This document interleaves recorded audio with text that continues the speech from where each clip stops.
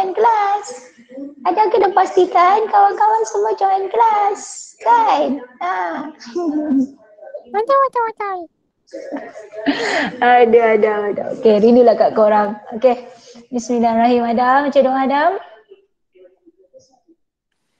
أعوذ بالله من الشيطان الرجيم. بسم الله الرحمن الرحيم. الحمد لله رب العالمين.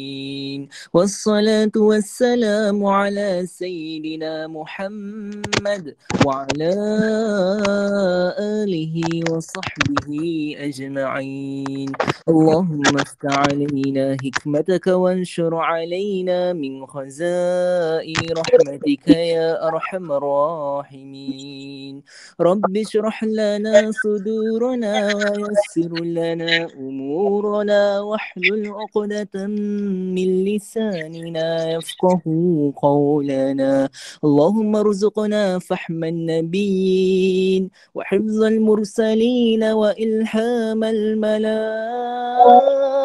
المقربين.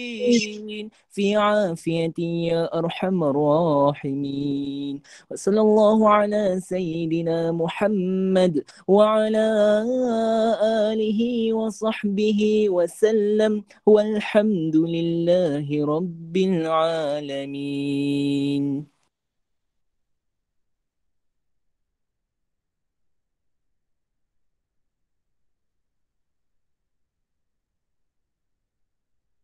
Cikgu tak dengar. Okay, dengar tak? Dengar? Okay. Bismillahirrahmanirrahim. Okay, so kita akan mula. Jadi korang semua uh, refer pada buku teks sebab saya akan menggunakan buku teks. Okay. Sekejap eh. Refer pada buku teks dan kita akan guna dua lah memang guna buku teks dengan buku kerja.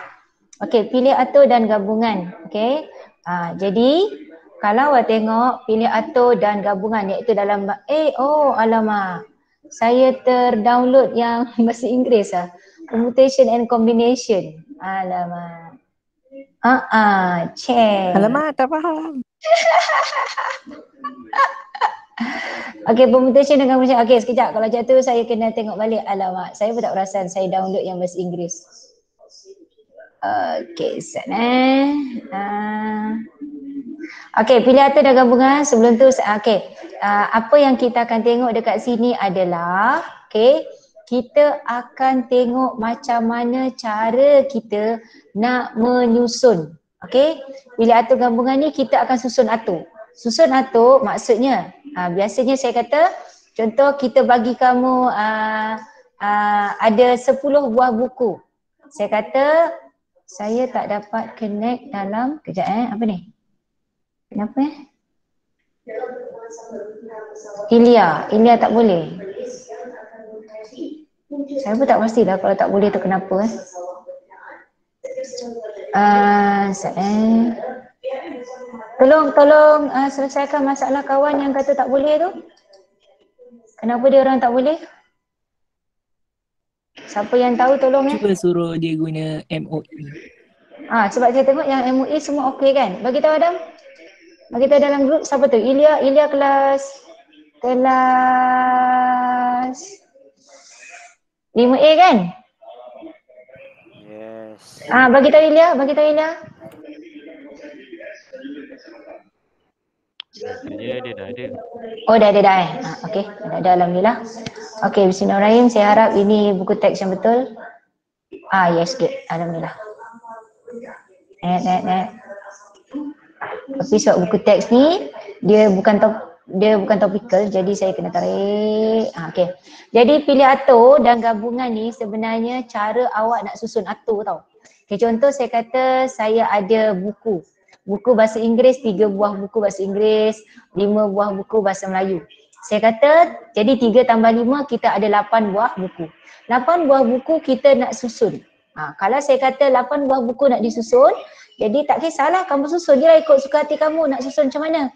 Nak guna bahasa Melayu, bahasa Inggeris, bahasa Melayu, bahasa Inggeris ke, bahasa Inggeris, bahasa Inggeris, bahasa Inggeris, bahasa Melayu ke, ha, tak kisah. Ha, macam tu.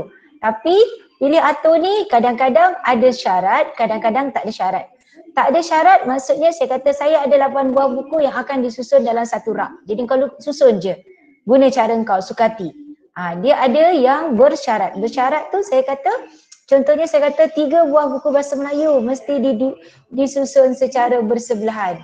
Maksudnya susun bahasa Melayu, bahasa Melayu, bahasa Melayu dulu. Barulah buku yang lain. Ha, itu yang bersyarat. Okay, jadi kita akan tengok pasal pilih atur dan gabungan iaitu cerita pasal bentuk soal uh, menyelesaikan kaedah itu. Okey, itu pilih atur.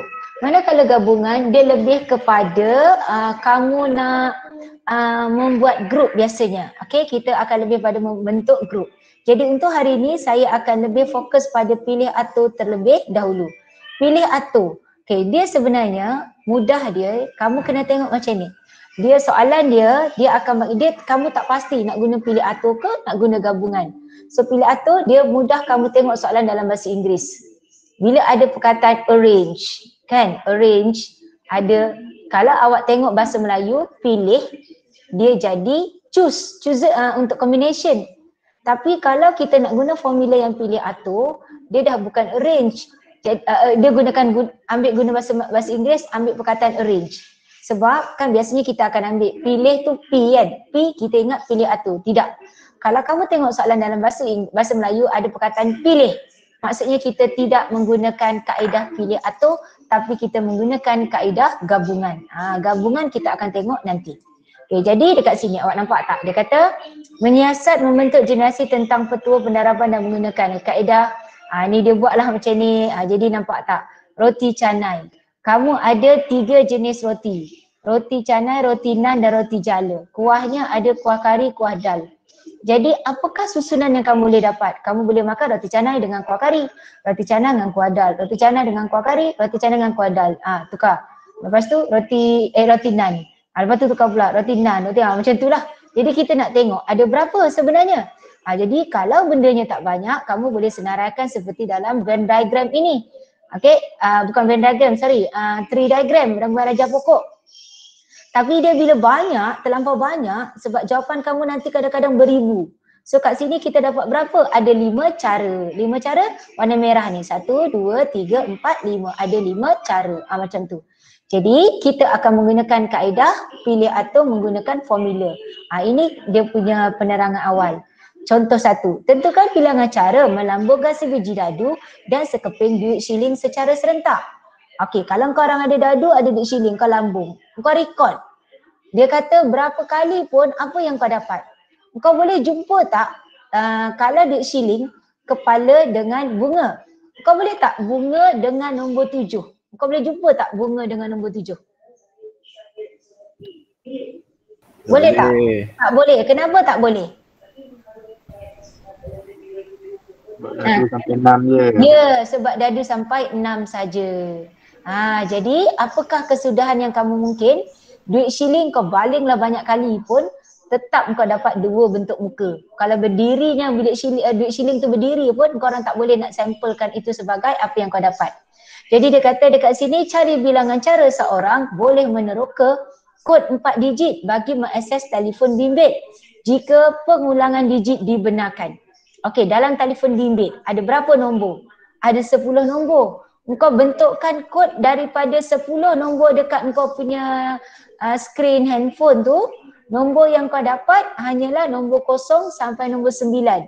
Oleh kerana boleh berulang, kod yang kau boleh dapat mungkin empat, empat dia katakan uh, kod empat digit. Nombornya mungkin kosong, kosong, kosong, kosong empat kali. Satu, satu, satu, satu. Dua, dua, dua, dua. Tiga, tiga, tiga, tiga.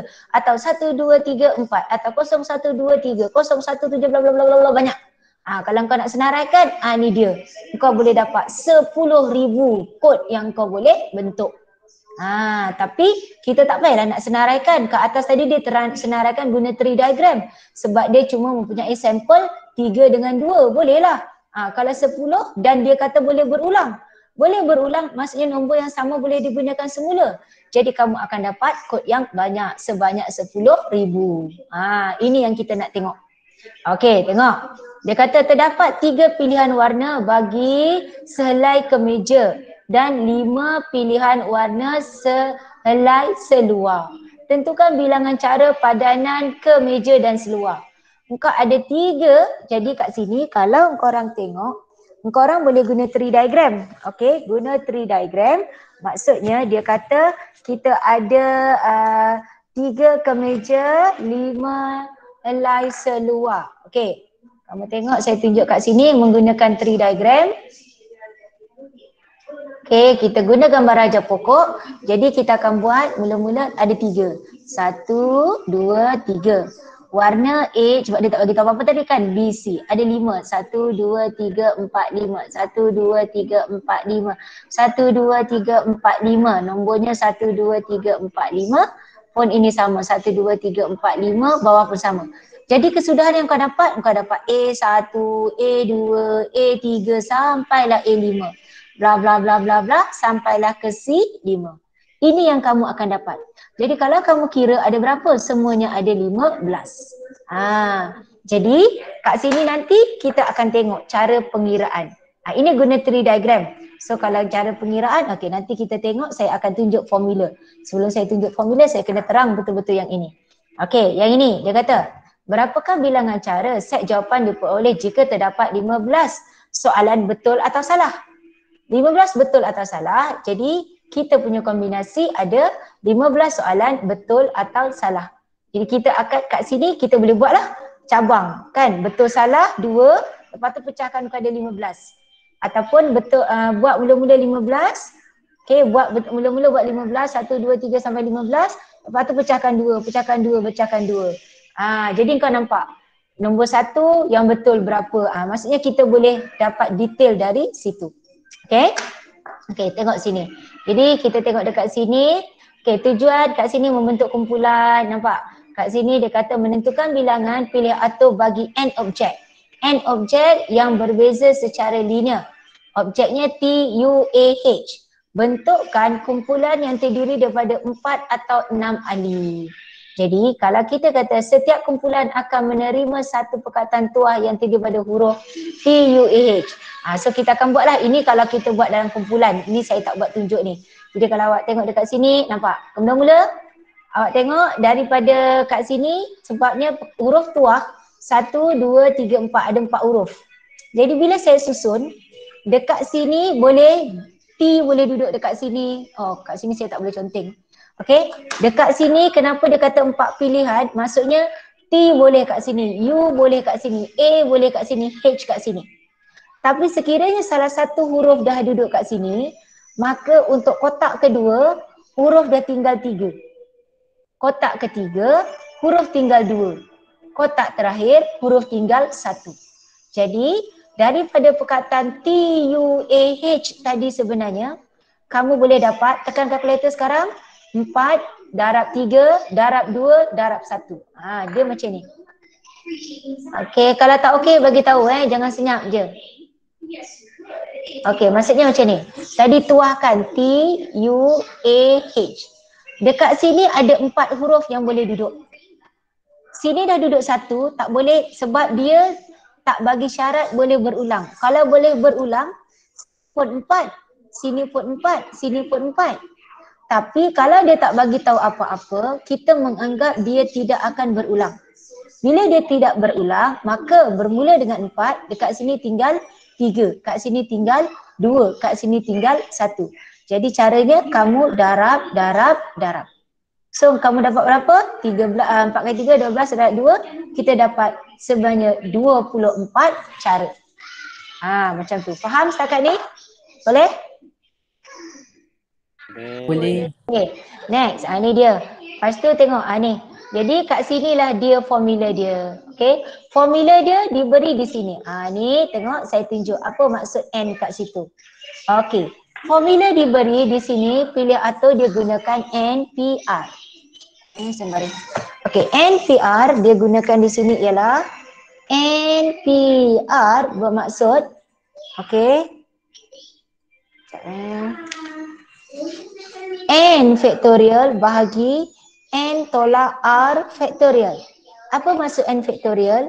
Contohnya macam tadi dekat sini saya ada perkataan T U A H. T U A H jadi saya ada empat huruf yang saya nak guna keempat-empat dia.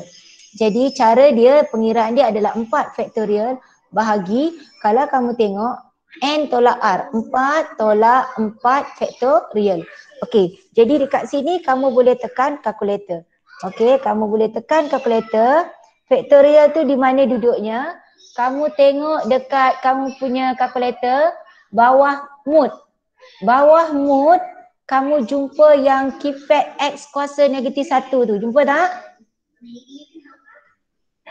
Jumpa. Okey. Jadi kau dah tekan empat, tekan shift, tekan itu. Tekan empat, tekan shift, tekan itu. Empat, shift, tekan itu. Sama dengan berapa dapat? 24 betul? Okey, empat tolak empat kosong. Kosong faktorial tekan satu, eh tekan satu. Tekan kosong faktorial dapat jawapannya satu. Jadi itu 24. Maksudnya kamu boleh guna cara ini, kamu juga boleh guna cara ini. Ha, ini menggunakan formula. Ha, Okey, contoh saya kata pula lagi. Saya kata saya ada contoh saya bagi huruf dia A, B, C, D, E. Ada lima huruf. Saya kata saya nak susun lima. So satu, dua, tiga, empat, lima. Jadi pertama lima, sini empat, sini tiga, sini dua, sini satu. Jadi korang tekan kalkulator darab, darab, darab, darab. Ataupun sebab kita ada lima huruf, kita guna kesemuanya dia adalah 5P 5 ataupun 5 faktorial bahagi 5 tolak 5 faktorial. Mana-mana awak boleh gunakan. Ha, tapi nanti bila kamu dah semakin banyak bentuk soalan, saya rasa cara ini lebih mudah. Ha, tapi terpulang pada kamu. Okey boleh? Contoh, saya kata ada lima huruf. Tapi saya nak guna empat saja. Nak guna empat. Bermakna yang pertama ada lima pilihan. Yang kedua tinggal empat. Yang ketiga tiga. Sini tinggal dua. Ha, sebab dia nak lima, dari lima huruf, dia nak empat saja, lima pi empat. Ataupun lima faktorial bahagi lima tolak empat faktorial. Tekan kalkulator. Kamu guna kaedah yang pertama ke, kedua ke, ketiga ke, kamu akan dapat jawapan yang betul. Eh sorry, jawapan yang sama. Faham setakat ini? Boleh? Boleh. Okay, next. Kita tengok seterusnya. Okey, kita tengok seterusnya apa. Okey, dekat sini ah ni dia. Okey, sebelum tu, sebelum saya lupa, ah, ni saya terlupa tadi. Okey. Ini sebenarnya apa faktorial ni, dia macam ni tahu. Apa yang dimasukkan 5 faktorial ni, dia macam ni. 5 darab 4 darab 3 darab 2 darab 1. Ah, bahagi 5 tak 5 kosong. Jadi kosong kosong 5 tak 5 kosong kosong faktorial. Jadi kalau awak tengok kat sini, kalau tekan ini kosong tak adalah kalau kosong ni tak ada apa-apa. Jadi awak akan dapat jawapan. Ataupun yang ini, ini bermaksud dia kata 5P4 kan? Ini bermaksud 5 darab 4 darab 3 darab 2 darab 1. 5 tolak 4 ialah 1 bahagi dengan 1. So ini, ini habis. Ataupun dia juga ini bermaksud dia akan gunakan formula N. N factorial ni apa maksud dengan N factorial? Dia adalah N darab n tolak 1 darab n tolak 2 darab n tolak 3 darab seterusnya. Jadi kalau soalan saya uh, 6P3 6P3 adalah 6 faktorial bahagi 6 tolak 3 iaitu 3 faktorial. Apa maksud 6 faktorial? 6 faktorial adalah 6 darab 5 darab empat darab tiga darab dua darab satu. Bahagi tiga faktorial apa? Tiga darab dua darab satu. Potong, potong, potong, potong, potong. Jadi kalau kamu tekan 6 P3, kamu tekan yang kedua cara atau kamu tekan 6 darab 5 darab 4, sama je jawapannya. Faham? Boleh? Ini saya tunjuk huraian apa yang dimasukkan n faktorial tu. Sebab kita ada dua formula. Sekarang kita menggunakan NPR. NPR adalah N faktorial bahagi dengan N tolak R faktorial. Dan lepas ni kita akan belajar NCR iaitu N faktorial bagi N tolak R faktorial R faktorial. Ha, ini kita akan belajar nanti. Ha, jadi awak kena tahu apa maksudnya kat sini. Ha, maksud N faktorial iaitu nombor itu didarab dengan nombor yang berkurangan dari dia sebanyak satu sehingga satu. Jangan darab kosong. Kosong kalau orang tak dapat apa-apa. Okay boleh eh? Okay next kita tengok yang seterusnya. Ha, ni dia sebab tu kalau kamu tengok dekat sini. Ah itu dia. 6 faktorial. Ah, ni dia dah buat dua, dah mula dengan dua. Contoh dua kan? Dia kata tanpa menggunakan kalkulator cari nilai bagi setiap yang berikut. 11 faktorial bagi 9 faktorial. Apa maksud 11? 11 faktorial adalah 9, uh, 11 darab 10 darab 9 darab 8 dan satu panjang. Ha, tapi sebab kat sini 9, kalau ikutkan kat bawah ni dia akan jadi 9, 8, 7 jadi boleh potong, potong, potong, potong. Jadi cara dah ringkas dia sampai 9 saja. Potong, dapatlah jawapan ini. Jadi kalau kamu tengok apa yang saya tunjuk tadi, Okay, yang ini nampak tak? Bila dia 6 faktorial bahagi 3 faktorial, saya tunjuk jalan lengkap seperti ini. Ha, ini seperti ini. Tapi sebenarnya bila dia 6 faktorial bahagi 3 faktorial, kamu boleh buat 6 darab 5 darab 4 darab 3, stop. Sebab kat bawah tu 3. Jadi sini 3. Jadi 3, 3 potong. Dapatlah jawapannya 6 darab 5 darab 4. Faham? Faham tak? Kalau saya kata contohnya 7 pi 5. So saya buat 7 darab 6 darab 5. Sepatutnya, okay, kalau ikutkan tadi kan saya katakan darab 4 darab 3 darab 2 darab 1. Bahagi 5 darab 4 darab 3 darab 2 darab 1. Jadi semuanya kita potong. So dia sama juga dengan 7 darab 6 darab 5. Stop. Bahagi 5. Pap, pap. Dapatlah 7 darab 6. Faham? Boleh? Good. Okay, next. Okay, ini semua dia. Ha, ini. Lepas tu kalau yang dua. Kalau yang dua, awak tengok ni. Dia 6 faktorial. Ambil yang besar. Yang besar 4. Jadi, saya tunjuk kat sini. Oleh kerana dia ada dua. Okay. 6. Dia bagi kat situ, dia dah tunjuk yang ringkas. Dia bagi 6 faktorial bahagi dengan 4 faktorial, 2 faktorial. Apa maksudnya? 6 darab 5 darab 4 darab darab 4 stop kan? Sebab sini ada 4. Ha, sebab sini ada 4, So tak payah habiskan pun tak apa. Okey tak apa saya habiskan dulu. 3 darab 2 darab 1. Bahagi 4. 4 darab 3 darab 2 darab 1. 2 darab 2 darab 1. Pak, pak. 3, 3. 4, 4. Dapatlah 6 darab 5 bahagi 2 darab 1. Ataupun kalau guna cara yang nak cepat tadi, 6 faktorial adalah ini 6 faktorial sebab sini kita dah dapat 4 maka kita dapat dia 6 darab 5 darab 4 stop. Bahagi 4 stop. Darab 2 darab 1 untuk yang sebelah 2 ini. So ini ini habis. So you dapat jawapan yang sama. Faham? Boleh? Boleh. Boleh. Okay, next. Terus, ha, ni semua ni dah sama dah ni. Nampak tak? Ha, ni ada lima. So, sebab dia tak ada apa-apa syarat, dia ambil semua. So, lima faktorial dia tu dapat 120. Okey, kita terus tengok di sini. Ha, tentukan bilangan cara. Ah ha, ni dia. Ah ha, ni saya dah tunjuk dah tadi kan.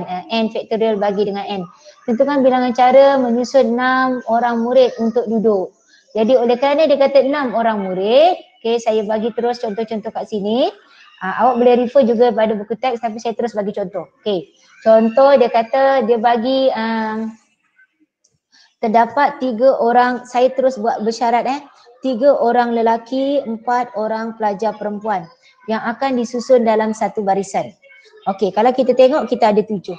Kalau ada tujuh ni, kamu buat tujuh baris. Satu, dua, tiga, empat, lima, enam, tujuh. Hari ni saya nak bagi yang mudah tanpa syarat yang susah-susah. Jadi, kalau dia kata tujuh orang pelajar ni akan didudukkan dalam satu barisan untuk sesi bergambar ke apa, tak kisahlah. So, kau buat dia terus. Tiga dengan empat, tujuh orang kan? So sini tujuh.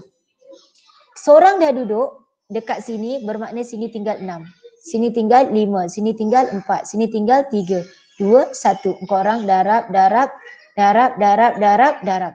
Ataupun kita ada tujuh orang nak duduk tujuh tempat. Tekan kalkulator, you dapat jawapan yang sama. Faham? Boleh? Boleh. Okey, saya masuk terus bersyarat. Okey, kalau nak ikut buku teks satu-satu nanti kita lambat. Sedangkan soalan ini sebenarnya untuk pengetahuan kamu, dia akan keluar satu atau dua soalan, markah dia tiga atau empat markah. Jadi saya terus pada fokus, saya dah terang sikit-sikit tadi, saya terus fokus pada bentuk soalan. Soalan akan ditanya, dia kata, contohnya dia katakan, tiga pelajar lelaki diduduk, uh, duduk bersebelahan. Tiga lelaki bersebelahan. Satu, dua, tiga, empat, lima, enam, tujuh. Sebab kita ada tujuh orang. Okey, bila dia kata bersebelahan, saya buat lelaki dulu. Ini lelaki, ini lelaki, ini lelaki. Lelaki ada tiga orang, lelaki satu, lelaki dua, lelaki tiga. Dia kata mesti bersebelahan. Maksudnya lelaki ni mungkin dia duduk tiga orang dekat sini. Dalam golongan lelaki ni, lelaki satu di sini, dua, tiga. Mungkin lelaki tiga, dua, satu. Mungkin lelaki dua, satu, tiga. Mungkin tiga, dua, satu. So dia boleh bertukar-tukar. Dia boleh bertukar-tukar bermaksud tempat pertama tiga lelaki boleh berubah. Tempat kedua tinggal dua orang. Tempat ketiga tinggal seorang. Maksudnya di sini adalah tiga pi tiga. Faham?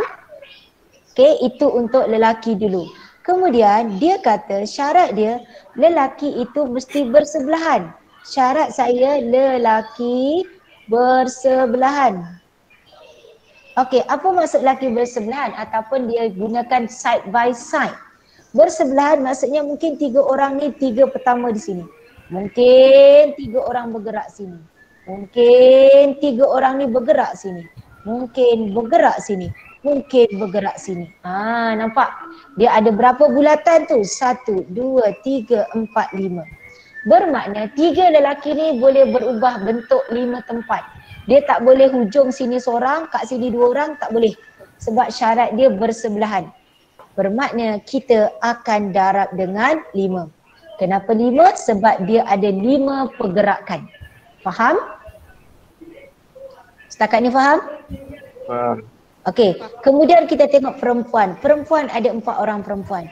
Empat orang perempuan ni, jadi dia ni boleh bersepah-sepah kat mana. Jadi darab empat pi empat. Ha macam tu. Kalau bila buat jawapan nanti, tak payahlah buat bulat-bulat macam tu nanti kau pening. Okey, tiga, empat, lima, enam, tujuh. Jadi yang ini tekan kalkulator. Berapa jawapan?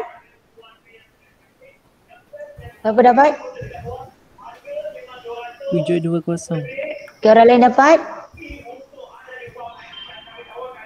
Orang lain dapat tak yang perempuan? Dapat. Okey, sekarang tengok perempuan perempuan bersebelahan.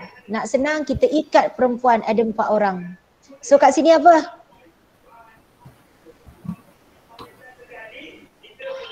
Perempuan kita ikat jadi apa kat sini? Tak simpat. Ya, empat pi empat. Empat pi empat ni dia bergerak berapa? Satu, dua, tiga, empat. Dah tak payah buat bulat-bulat. Darab empat. Darab, lelaki ada berapa? Tiga pi tiga. Yes, tiga pi tiga. Ah macam tu. Faham? Boleh? Boleh. Ha, okay. Ini manusia ke buku ke samakah? Samalah. Okay. Yang susah sedikit bila nombor. Okay. Bila nombor. Saya akan buat di sini untuk nombor. Nombor. Contoh saya kata ada kad. Nombor saya adalah satu, tiga, empat, enam, lima. Okay. Ada lima kad. Kita nak membina password. Kita nak buat password. Saya kata password tu lima digit. So lima digit tak ada masalah. Satu, dua, tiga, empat, lima. So apa jawapan yang pertama kalau lima digit? Password lima digit. Jadi apa dapat? Sini berapa? Yang pertama nak tulis berapa? Enam. Eh, lima. Kat kita ada. Oh, ada. lima. Ah, lima. Lepas tu? Empat. Empat. Lepas tu? Tiga. Dua. Satu. Darab. Ataupun, ataupun kita guna lima pi. Lima. Lima. Yes. Kalau soalan saya kedua, empat digit. Kalau empat digit, satu, dua, tiga, empat. Lima, empat, tiga, dua. Ataupun lima pi empat. Tiga digit pun sama. Faham? Boleh? Boleh. Boleh. Sekarang saya buat syarat. Sekarang saya buat syarat. Saya nak membina uh, empat digit. Empat digit kod nombor genap. Empat digit. Satu, dua, tiga, empat. Okey, yang ketiga. Empat digit nombor genap. Okey. Kat mana syarat dia? Empat digit saya dah buat empat garisan. Nombor genap. Nombor genap kat mana syarat dia? Kat mana kedudukan? Belakang, main belakang, depan, belakang, depan. Kau belajar Rumah sah. Ah, pandai. Duduk kat depan belakang pula eh. Okey, rumah sah. Rumah sah nombor genap. Apa yang dia duduk? Empat. Empat lagi? Enam. Eh, Ha? Mana Enam. nombor enam Yasmin? Kau jumpa nombor enam kat mana Yasmin? Oh, okey atas tu. Okey. Yasmin tadi kau sebut apa Yasmin? Empat dengan enam. Okey betul. Empat, enam. Kan? Ah, Maksudnya nombor genap. Ha, tadi jadi kan Yasmin jawab tadi belakang, tak nak belakang depan. Okey, sebab kita belajar maths. Jadi at maths kena bagi tahu rumah hmm, rumah apa nilai tempat dia. Hmm, Saya tak boleh cakap. Bila saya dah cakap lama ni uh, dia ganggu sikit. Okey, tapi tak apa, pelan-pelan sikit. Okey, jadi nombor genap nombornya adalah nombor empat atau nombor enam. Tapi bukan bererti nombor 4 dan 6 akan duduk satu tempat. Jadi nanti kau tak nampak nombor apa. Jadi nombornya adalah nombor 4 atau nombor 6. Faham? Nombor 4 atau nombor 6. Jadi ada berapa pilihan? Dua. Dua. Engkau tulis dua kat sini. Ataupun engkau tulis 2P1. Apa maksud 2P1? Engkau ada dua pilihan, engkau nak ambil satu saja nombor. Okey, orang lain faham yang senyap-senyap je ni? Dahlia Baik. cinta, Dahlia cinta saya tak dengar suara kau hari ni, Dahlia. Faham cikgu. Ha, okey. Iliana, Iliana. Iliana, Iliana ada tak? Ada cikgu. Ha, okey, ni sebab saya panggil ni sebab orang-orang yang selalu popek-popek kan. Yang lain kan ala-ala muslimah sejati gitu kan. Okey. Okey Naim. Tangan kau dah okey Naim? Ah, InsyaAllah lah kot. InsyaAllah lah ke. Okey. Jadi kat sini kamu tengok dia 2P1 kemudian ini bererti kita ada berbaki berapa huruf nombor lagi? Empat. Ada empat. Okey orang lain? Kenapa ada empat Yasmin? Sebab yang hujung tu dia nak guna salah satu je. Ya, rumah sah Yasmin digunakan salah satu saja. Hujung-hujung. Okey. Jadi kita ada lima kad tadi. Satu dah duduk kat rumah sah. Bermakna kita berbaki empat. Sebab apa? Kalau nombor empat duduk kat rumah sah, nombor enam boleh campak tempat lain. Bermakna kita ada empat. Okey, tiga, dua. Darab, darab, darab. Ataupun empat pi tiga. Darab dua pi satu. Jadi jalan pengiraan kamu boleh guna yang ini ataupun yang ini. Ha, cuba tekan kalkulator dua-dua. Sama tak? Sama tak?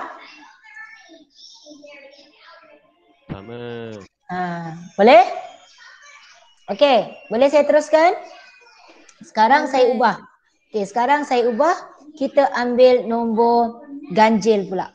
Saya kata saya nak nombor ganjil lima digit. Ha. Satu, dua, tiga, empat. Nombor ganjil lima digit. Okey, siapa nak buat? Siapa yang boleh conteng, bolehlah conteng. Boleh tak? Korang boleh conteng saya punya? Tak boleh?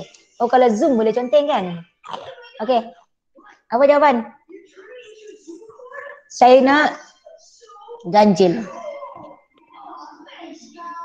Ganjil lima digit. Okey. Apa dia? Empat darab tiga darab dua darab satu darab tiga. Okey. Sini tiga. Kenapa tiga? Sebab kita punya ganjil kan? Ada tiga. Ataupun tiga pi satu. Dan berbaki empat darab. Oh sorry tiga darab dua darab satu darab.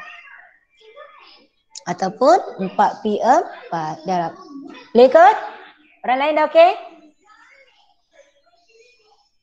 Yang lain okey? Boleh? Okay, eh? okay next. Kita tambah lagi susah sikit. Saya masih menggunakan kad yang sama. Eh? Yang kelima. Saya kata nombor empat digit. Okay, lebih empat ribu. Ha, empat digit. Satu, dua, tiga, empat. Lebih empat ribu. Kat mana syarat saya nak letak? Okay, cuba. Ha, siapa nak buat? Dekat ribu. Nombornya apa? Empat enam lima. Ada Hmm. tiga. Yasmin ni sebenarnya dia dah belajar dah. Budak tuition saya dah habis kan tajuk ni kan? Gabungan sikit belum kan? Okey, empat, empat, enam dan lima. So ada tiga. Lagi? Ataupun tiga pisah satu. So kat sini ada berapa? Next. Sebelahnya jadi berapa ni? Empat. Empat. Sini? Tiga. Tiga, dua. Aku ajar personal tuition ke apa sekarang? Ya, seorang-seorang ya. So, darab, darab, darab. Boleh? Ataupun kat sini, darab dengan 4P3. Dapat jawapan. Boleh? Okay? Okay. So, okay. Dah. Okay, ini saya bagi pengenalan dulu macam tu sebab dia banyak lagi ya bentuk-bentuk soalan dia. Jadi, awak boleh tengok dalam modul sebab saya saya tak buat modul ni hari ni. Awak boleh tengok. Saya rasa uh, nanti saya buka sebab saya ada modul yang online. Uh, jadi, kita tengok dekat sini uh, ni semua. Uh, ni semua. Apa yang saya ajar ni semua dah masuk dah ni. Uh, semua ni, semua ni dah masuk. Eh, sebab saya tak tunjuk satu-satu tadi. Kalau saya tunjuk yang ni satu-satu jadi lambat. Ha, ni nampak tak? Dalam satu perlombaan, sembilan orang peserta merebut ha, ni. Satu stadium, cari bilangan cara masuki stadium itu dengan dengan pintu berlainan. Ni tidak dibenarkan buat empat digit. Ha, semua ni saya dah tunjuk. Jadi, saya nak awak terus cuba buat latihan ini. Okay. Awak tengok. Uh... Okay, tengok ni 4.4. 4.4 ni awak boleh buat sebagai latihan. Okay, tolong tandakan 4.4. Kemudian awak buat modul tau. Awak buat modul. Okay. Kemudian yang ini. Sebab yang buku teks ni tingkatan lima ni kan baru jadi saya. Ha ni tengok eh cari bilangan cara nombor 4 digit yang boleh dibentuk. Nampak? Ni semua saya dah terang tadi. Nampak? Kan? Saya dah terang. Sebab tu saya kata kalau saya go through satu-satu buku teks ni lambat. Jadi saya buat contoh kat situ tadi. Okay. Jadi latihan 4.4. Kemudian awak tengok sini 4.5 ni boleh buat tak? Uh, ataupun kita pergi kat 4.1 terus latihan form okey 4.1. 4.1 cuba buat soalan 1 sampai 5. Boleh? Boleh tak? Boleh tak? InsyaAllah mencuba. Okey, awak cuba. Okey, Alhamdulillah ada 45 orang. Saya pun tak pasti siapa yang tak ada sekarang. Okey, jadi latihan yang saya bagi tadi, korang buat dalam buku latihan. Buku latihan ada yang pada saya, betul? Okey. Oh. Ah, tak apa, saya nanti minggu depan uh, insyaAllah saya cuba kalau saya sempat dah tanda, saya akan letak dekat uh, postcard sekolah. Dia dekat guard tu nanti korang boleh ambil. Ha, boleh? Okey, semua hari ini ada, tadi ada 45 orang. So, okey, Alhamdulillah. So, kita, saya akan ambil kehadiran siap-siap one more time. Okey, jadi uh, jumpa next class. Boleh? Jumpa next class. Ada soalan macam biasalah awak tanya. Apapun saya ucapkan tahniah, Alhamdulillah saya nampak korang uh, lebih fokus, uh, lebih serius. Okay? So good luck teruskan buat latihan. Doakan saya cepat sembuh. Korang semua jangan keluar rumah. Faham? Uh, Bye. Assalamualaikum. I love you. Semoga Bye. cepat sembuh cikgu. Cikgu. Okay. Bye. Terima kasih cikgu. Bye. Cikgu. Bye. Cikgu. Bye. Oh. Terima kasih cikgu. Sama. Terima kasih cikgu. Sama. Bye cikgu. Bye. Baik.